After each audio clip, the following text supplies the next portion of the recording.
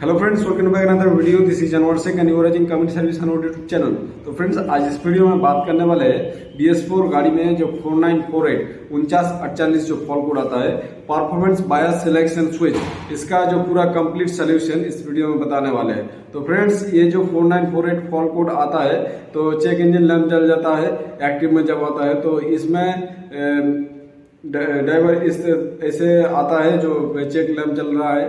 और कभी कभी ऐसा होता है जो हरा बटन और लाल बटन जो है, लाल बटन काम नहीं करता है।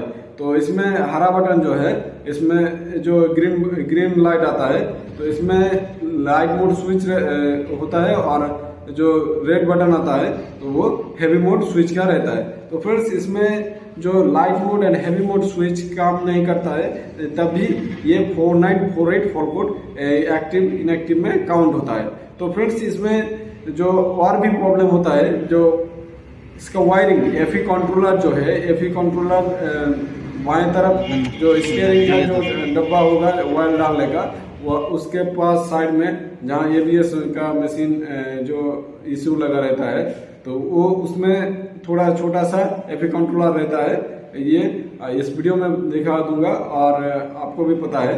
तो फ्रेंड्स इसमें जो एफी कंट्रोलर का वायरिंग जो है एफी कंट्रोलर से वायरिंग से ये light mode and heavy mode switch तक कनेक्शन रहता है।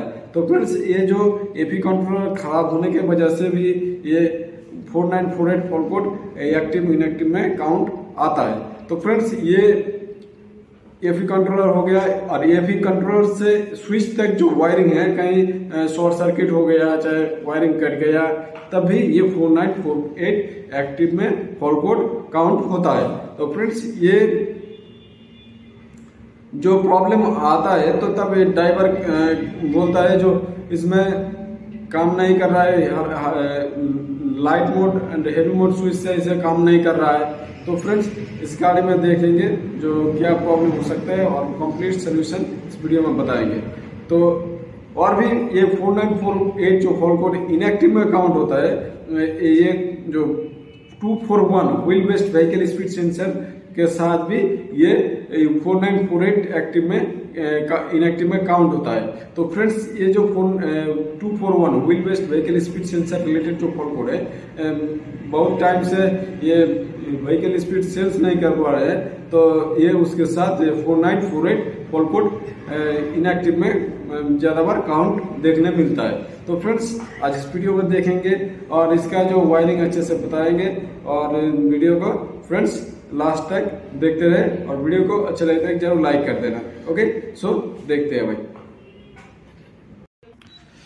फ्रेंड्स, ये जो गाड़ी में लैपटॉप कनेक्ट किया तो अब देख सकते हो, इसमें इनएक्टिव फॉल कोड जो है दो सौ चौंतीस इंजन क्रैंक का है, और उसके साथ उनतीस चौंसठ, ग्यारह सत्रह, दो सौ इकतालीस, उसके साथ देख सकते हो, उनचास चालीस तो ये सिक्सटी टू बार ज़्यादा से ज़्यादा काउंट हुआ है।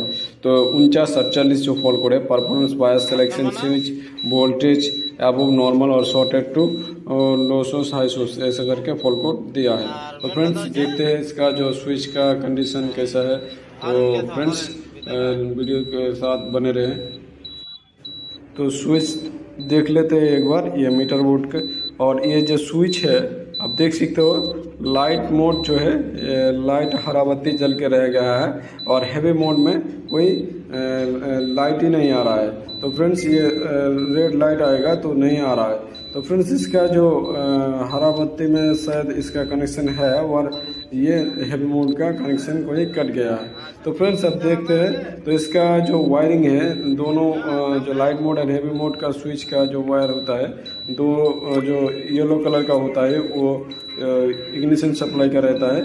तो फ्रेंड्स ये जो आप देख सकते हो, इसमें जो हैवी मोड स्विच था, इसका इग्निशन सप्लाई का वायर कट गया है और भी जो वायर रहता है, दो ग्राउंड रहता है और ये जो रेड पे लाल कलर का ब्लैक पे रेड कलर का वायर रहता है, वो सिग्नल है। तो फ्रेंड्स ये जो ये सब जो वायर है, ये सब ये भी कंट्रोलर से होके आता है। और लाइट मोड स्विच जो है, लाइट मोड स्विच में भी सेम ऐसा ही जो है चौबीस वोल्ट सप्लाई दो पिन में चौबीस वोल्ट सप्लाई दो में ग्राउंड और ये जो सिग्नल रहता है तो ये जो सिग्नल वायर ये फिर कंट्रोल से आता है।